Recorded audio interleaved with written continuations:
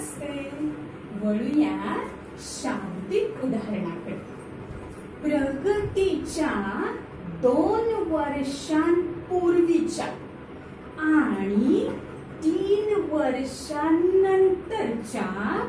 वयांचा गुणाकार चौऱ्याऐंशी आहे. तर तिचे आजचे वय काय प्रगतीचे आजचे वय काय आहे?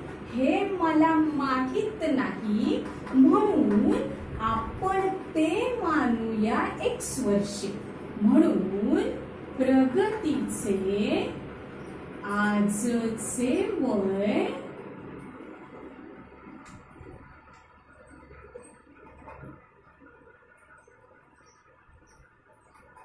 एक्स वर्षे मानू.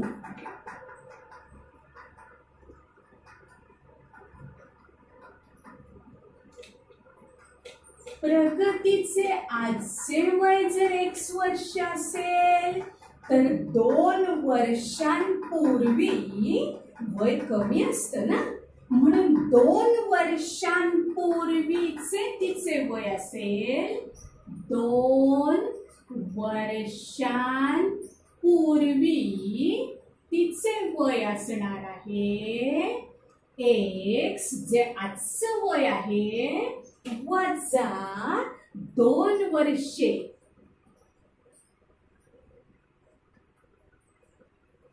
तीच तीन वर्षांनंतरच वय असणार आहे.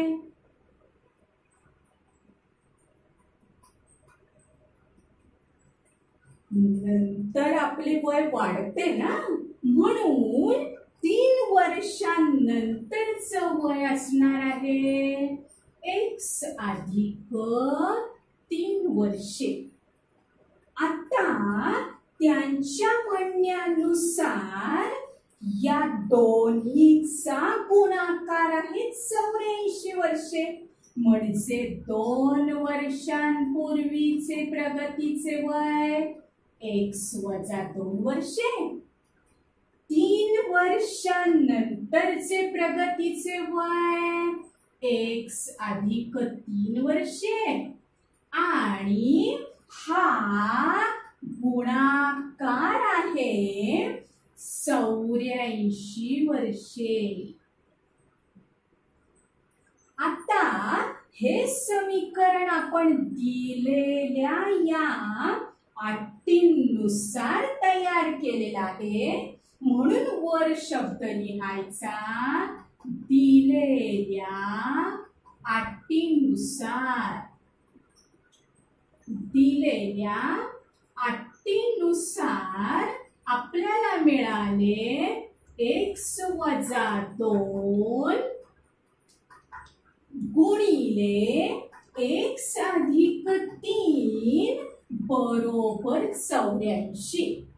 आता विचार करा सांगितल्याप्रमाणे. दोन कंसांमध्ये कोणतंही चिन्ह नाही. म्हणजे गुणिले मग चला गुणाकार करूया या कंसानं या कंसाला.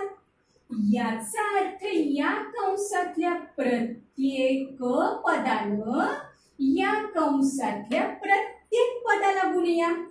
जर गुणायचं आहे तर ओळीनं गुणूया. मग एक्स गुणिले एक्स येऊ शकतात. एक्स वर्ग एक्स गुणिले तीन येऊ शकतात. अधिक तीन एक्स आता एक्स न गुणून झाल्यानंतर वजा दोन न गुणूया. ऋण दोन गुणिले एक्स येतील. ऋण दोन एक्स ऋण दोन गुणिले तीन येतील. बेत्रिक सहा पण गुणाकारात वजा अधिक होतात वजा. म्हणून वजा सहा बरोबर चौऱ्याऐंशी. आता एक्स वर्ग अधिक तीन एक्स वजा दोन एक्स. आले एक एक्स पण एक एक्स न लिहिता आपण लिहितो नुसते एक्स कारण एक्सचा अर्थ एक एक्स वजा सहा आणि आपण अधिक चौऱ्याऐंशी जे पलीकडे आहेत त्यांना डाव्या बाजूला आणूया. ते होतील वजा चौऱ्याऐंशी. बरोबर शून्य. आता तुमच्यापुढे समीकरण येणार आहे. एक्स वर्ग अधिक एक्स मात्र ऋण सहा आणि ऋण चौऱ्याऐंशी होणार आहे. ऋण नव्वद. बरोबर शून्य. आता याचे अवयव पद्धतीनं अवयव पाडण्याचा प्रयत्न करूया. बघा पहिल्या पदाचा सहगुणक एक गुणिले तिसरे पद वजा नव्वद. यांचा गुणाकार आला तुमचा वजा नव्वद. आता तुम्हाला या मधल्या पदा इतके म्हणजे एक इतका फरक ठेवावा लागणार आहे. वजा बाकी ठेवावी लागणारे म्हणजे तुमची जी जोडी निवडायची आहे तुम्ही मधले पद अशा पद्धतीनं फोडणार आहात की त्याचा गुणाकार येणार आहे नव्वद आणि वजा बाकी येणार आहे फक्त एक. म्हणजे तुम्हाला मिळू शकणार आहे दहा आणि नऊ. खात्री करून घ्या दहा नव्वे नव्वद आणि दहा वजा नऊ येणार आहे एक. आता चिन्ह प्रश्नाचा राहिला.